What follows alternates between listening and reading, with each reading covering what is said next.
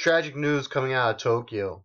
There's been a mass stabbing at a disabled facility in Tokyo.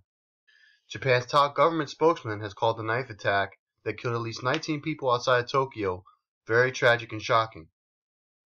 Chief Cabinet Secretary Yoshihide Suga told reporters Tuesday that this is a very tragic and shocking incident where many innocent people became victims. He said police together with government will work hard on the investigation to grasp the whole picture. Let me grasp the whole picture a little bit here. Tokyo is about 170, 180 miles away from Fukushima. If you've seen the rise of these mass killings, some of them look to appear to have been staged. However, some of them appear to be legitimate, like this guy who goes crazy and he's killing these disabled people. Now, I find it kind of weird. He worked there. Was he like kind of pissed off? You know, like one of these people that go back to their old workplace and you know they want to kill their boss and stuff. But why did he go after the disabled? Why didn't he just go after the boss? So this is where it starts getting a little bit tricky. Now, these disabled people, why were they disabled? We don't know. Were these people from Fukushima? That they took refuge there? Did, did they become handicapped because of Fukushima? Did this guy go crazy because of Fukushima?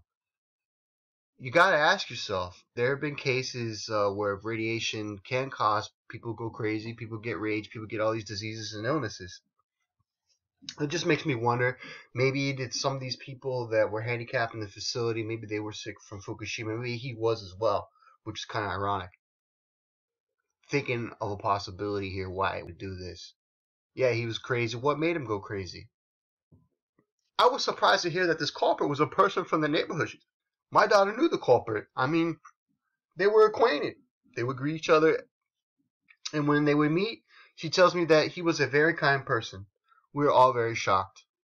Yeah, it's like the kindest, nicest guy, huh? We've heard that story before. Her daughter Honoka said, He has a very cheerful impression. He was the kind of person that would greet you first.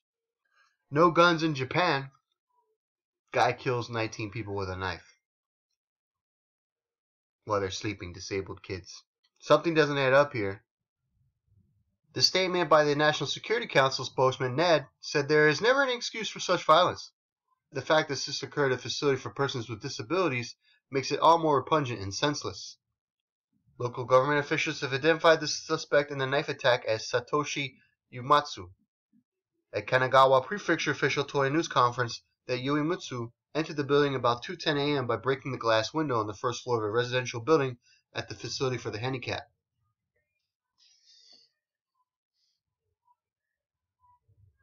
Shinwa Sokoma, head of Prefectural Health and Welfare Division, said Uematsu had worked at the facility until February.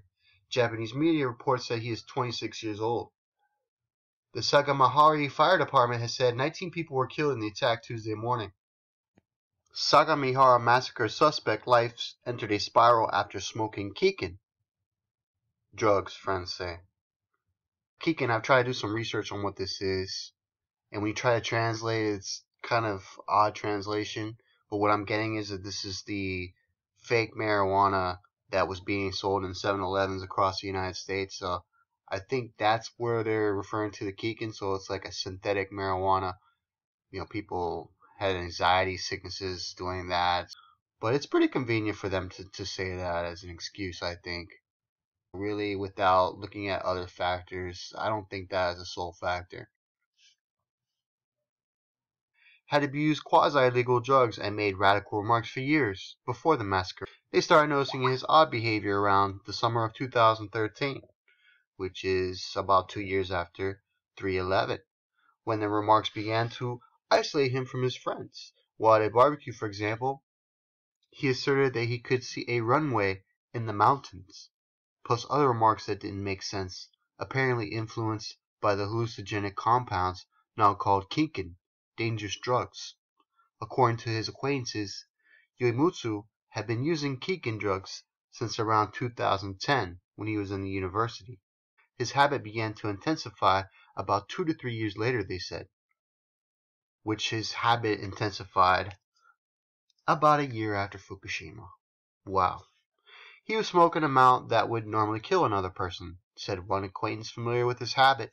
adding that Uematsu would sometimes go to work after smoking the drugs all night long.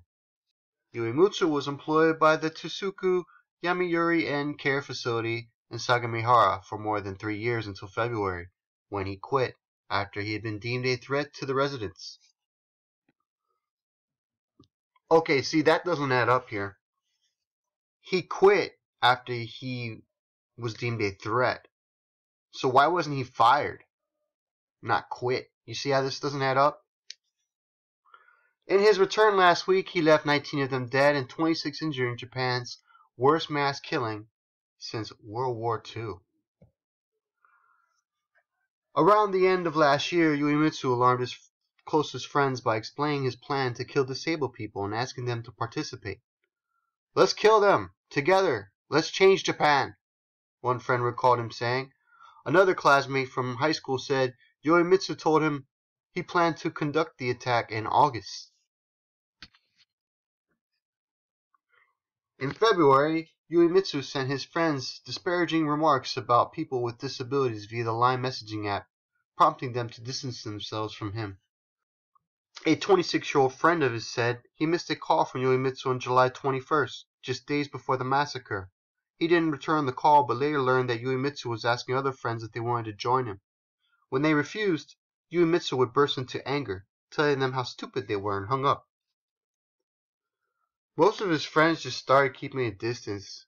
He was really alone just before the incident. They may have been one of the reasons for the attack, another 26-year-old friend said. Nearly a week afterward, most of how the attack unfolds has come to light. According to the latest updates from police, Uematsu broke a window on the first floor of the facility with a hammer at around 2 a.m. July 26. When an employee entered the corridor to investigate, Uematsu punched her took her keys and bound her with zip ties.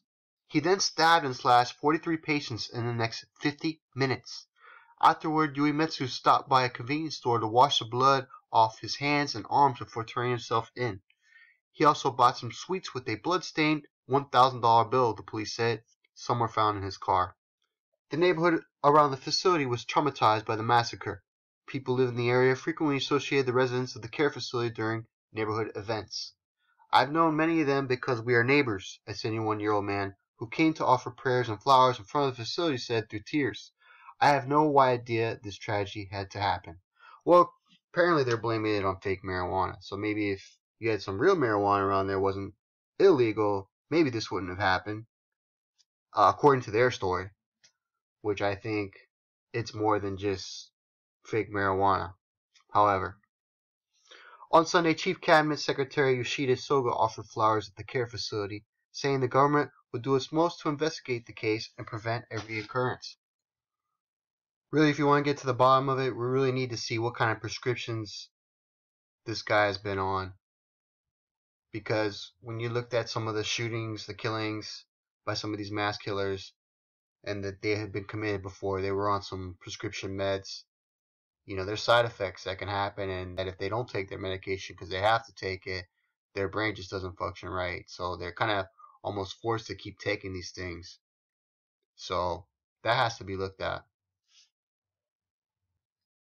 Psychological support for the residents remaining at the facility and the staffers is important, and the government will provide as much support as we can. Suga also said he will seek all information on Uematsu's treatment following his release from the mental hospital he was committed to in February. Suga added that Education Ministry had ordered municipalities to beef up security at schools and other facilities nationwide. So I guess they're worried about copycats, or they have another really serious problem with their fake marijuana and their Fukushima radiation